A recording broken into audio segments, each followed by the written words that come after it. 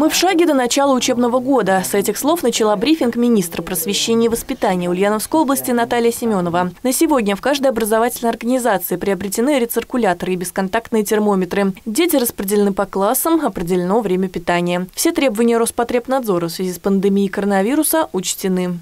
У Роспотребнадзора нет жестких требований к ношению масок у детей и учителей во время образовательного процесса. Но достаточно сложно вести предмет и достаточно сложно ребенку в течение 5-6 а, уроков просидеть в маске. Но есть жесткое требование по э, обязательному ношению масок и перчаток у работников пищеблока. Министр также подчеркнула, собирать денежные средства с родителей на что-либо строго запрещается. А при возникновении информации о поборах в школах руководителей будут жестко наказывать. Категорически запрещается собирать с родителей какие-либо средства.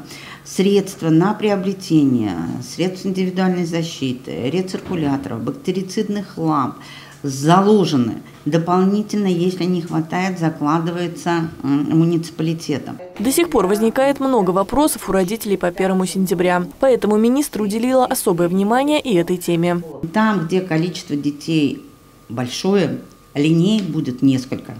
Две, три, а то и четыре. Мы развели их по параллелям, например, первый, одиннадцатый, а, четвертый, шестой, ну и так дальше.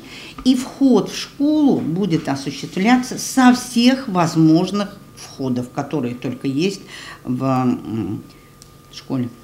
Присутствие родителей на линейках допускается, но при наличии средств индивидуальной защиты. Ирина Антонова, Даниил Сурков, Новости Улправда ТВ.